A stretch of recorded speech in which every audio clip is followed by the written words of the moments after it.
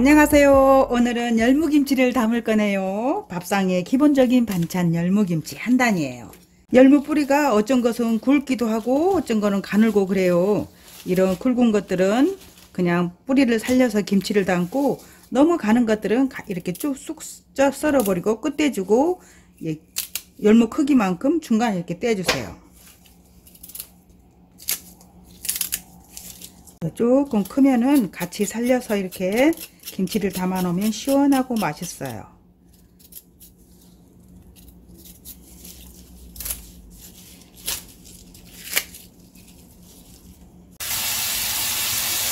이 김치 종류들은 기본적으로 꼭 세 번을 씻어주셔야 돼요.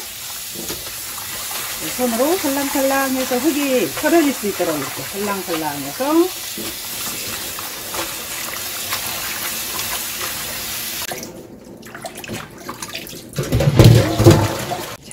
깨끗하게 씻었으면 요 소금 이렇게 크게 한 주먹을 가지고 이렇게 살랑살랑 좀 뿌려주세요.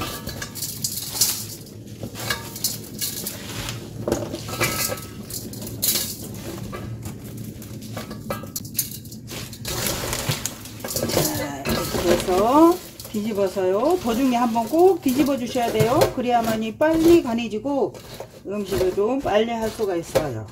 그리고 어떻게 어쩌면 다 간해졌나 궁금하잖아요. 소금이 다 녹으면 다 절겨진 거예요. 소금이 다 녹을 때까지 네, 기다려 주시면 돼요. 자, 물 1리터를 부어주고 다 붓지 말고 조금만 적당히 좀 남기세요. 물이 끓기 시작하면 요 물 남겨진 거 있죠? 여기에다가 이렇게 잘 섞어주세요. 찹쌀가루 한 수저를 넣고 이렇게 막 칠해 주세요. 그래서 여기다 부어주면 돼요. 처음부터 찹쌀가루 넣으면은 타고 그러니까 끓는 물에 이렇게 부어주면 금방 풀죽이 써져요. 이 찹쌀풀이 한번 푸르르 끓고 나면 다 된 거니까 이제 끄고 찹쌀 좀 식으라고 놔두면 돼요. 이제 맛있는 양념. 홍고추예요. 홍고추 8개를 가위로 커트질을 좀 해주고요. 그리고 청양고추 3개도 같이 갈아주고 마늘 20알하고요. 생강 5g.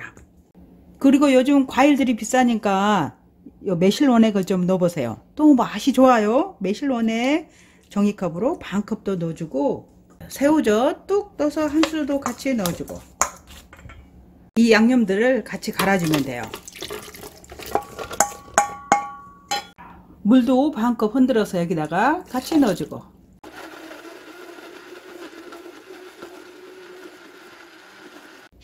양념이랑 다 갈았으니까 태파 절반이요 아니 절반이란다. 하나.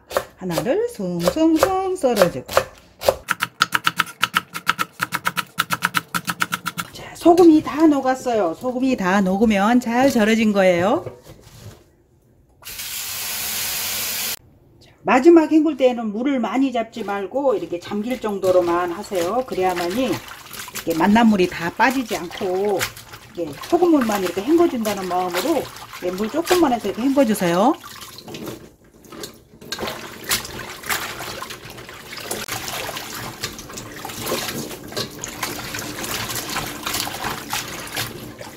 갈아놓은 양념을 다 부어주고요. 양념이 아까우니까 끓여놓은 풀죽을 넣어서 좀 헹궈주세요 이렇게 그리고 여기에 가는 소금 한 수저를 넣어주세요. 그리고 잘 녹여서 이 소금을 다 녹은 뒤에 간을 꼭 보셔야 돼요.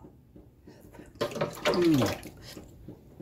이대로 먹으면 맞을 것 같은데 살짝 싱거운 감이 있으니까 소금 반 수를 더 추가해 주세요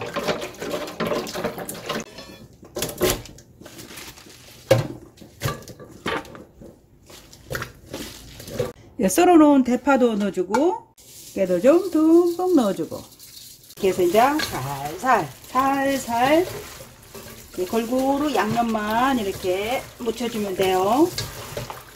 양념 갈기만 하면 천하에 쉬운 열무 물김치. 맛있겠다.